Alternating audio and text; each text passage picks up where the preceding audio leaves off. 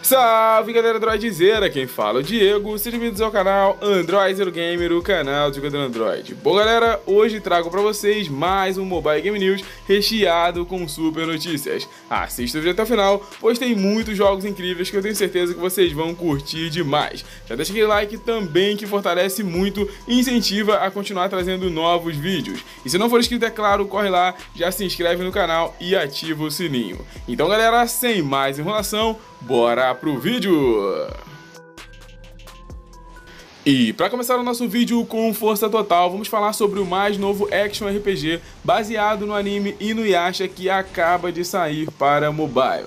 O nome do game é Inuyasha Revival Story. E na minha opinião, esse game ficou top demais. Como vocês podem ver, ele apresenta belíssimos gráficos em 3D, além dos efeitos de combate que ficaram muito bonitos. E falando em combate, eu achei que esse estilo hack and slash ficou muito bom, porque deixou o game muito dinâmico. Outra coisa que eu achei legal é que esse game conseguiu se diferenciar daquele outro Inuyasha que lançou lá para a China, até mesmo pelo estilo de visão isométrica, né? Então eu achei isso bem legal que diferenciou o game. E uma coisa que eu amei é que esse game é muito fiel à história do anime. Então se você é fã de Inuyasha, com certeza você vai gostar demais. O único ponto negativo é que infelizmente o idioma do game ainda está em chinês, porque o beta é lá na China. Mas para logar no game não tem nenhum mistério. Então caso vocês queiram testar, o link para download estará na descrição.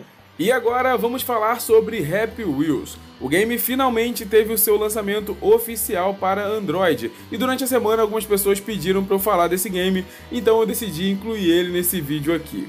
Para quem não sabe, basicamente no Happy Wheels você terá que controlar um piloto completamente despreparado e aí você vai usar patinete, bicicleta ou até mesmo cadeira de rodas para driblar diversos obstáculos, usando como base a física e o deslocamento lateral. E tenha certeza que isso não é nada fácil. Happy Wheels com certeza não é um game para qualquer um. Apesar de muito divertido, ele também é um game que faz muita raiva. Você precisa ter muita paciência e precisão para que seu personagem não seja completamente despedaçado por alguns obstáculos. Olha, o pouco que eu joguei deu para me divertir bastante, mas eu confesso para vocês que em determinado momento deu sim aquela vontadezinha de tacar o celular na parede. Mas se você tem essa paciência e curte games com altos desafios, com certeza você vai gostar muito do Happy Wheels. A parte boa é que o game é super leve, pesando apenas 60 MB, então vai rodar em vários celulares e não vai ter nenhum problema para vocês jogarem. O game também é oficial e, como eu falei, ele foi lançado na Play Store. Caso você queira jogar, o link para download estará na descrição. E para quem curte games com PVP multiplayer estilo Brawl Star, finalmente saiu na nossa Play Store Pico Tanks. Pois é, galera, neste game você utilizará tanques de guerra em batalhas PVP 3 vs 3. À medida que você for avançando no game, terá acesso a novos equipamentos que podem personalizar a aparência do seu tanque e até mesmo mudar o estilo da jogabilidade. E falando nisso, é inegável que o estilo de gameplay do Pico Tanks lembra demais o Brawl Star. E não é só isso, até mesmo os gráficos lembram muito o design da Supercell, não só em campo de batalha, mas até mesmo na interface existem muitas referências. Eu confesso que cheguei a pensar que Picotanks era um projeto secreto da Supercell, mas realmente não é. No geral, galera, eu curti muito a jogabilidade, achei bem fluida, além de ser um jogo bem leve que vai rodar em vários dispositivos e está em português. Lembrando que o link para download está na descrição, então corre lá e não dá mole. E agora vamos a uma rápida atualização sobre Shadowgun War Games.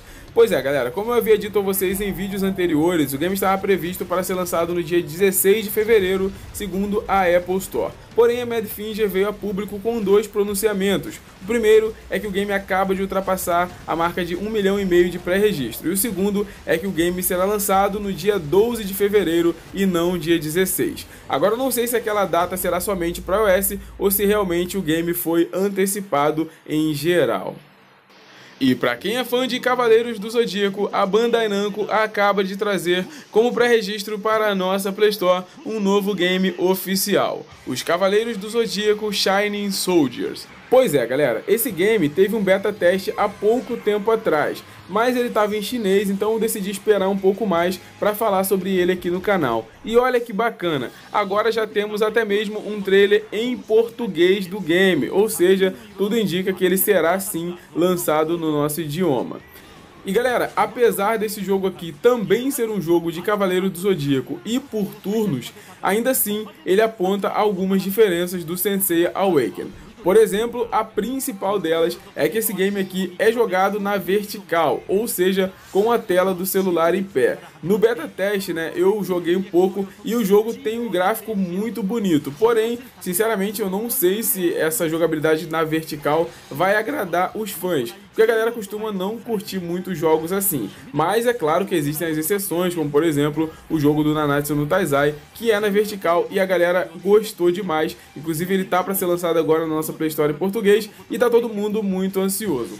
E galera, uma coisa muito importante é que esse game também está em pré-registro na Apple Store. E graças a isso a gente consegue pegar aquele spoiler que é a data de expectativa para o lançamento do game. E já consta uma data para o dia 23 de abril. Então deixa aí os comentários do que vocês acharam desse jogo e se estão ansiosos para ele ou não. Lembrando, é claro, que o link para o pré-registro estará na descrição, então corre lá e não dá mole.